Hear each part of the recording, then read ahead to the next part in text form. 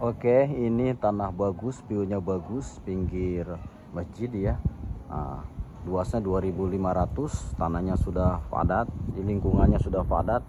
Ini tanahnya sudah penuh dengan uh, ada manggis ya, penuh dengan manggis, ada durian, duren, ada jeruk petai, kote, betul ya.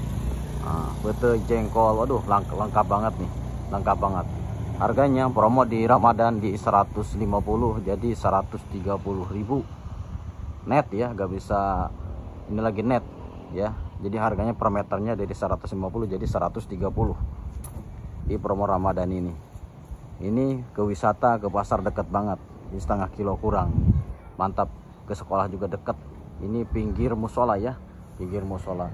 Durennya besar-besar sudah produksi dan manggis juga sudah produksi petai juga sudah produksi. Mantap. oke ini tanah bagus view-nya bagus pinggir masjid ya. Nah, luasnya 2500 tanahnya sudah padat di lingkungannya sudah padat. Ini tanahnya sudah penuh dengan uh, ada manggis ya penuh dengan manggis.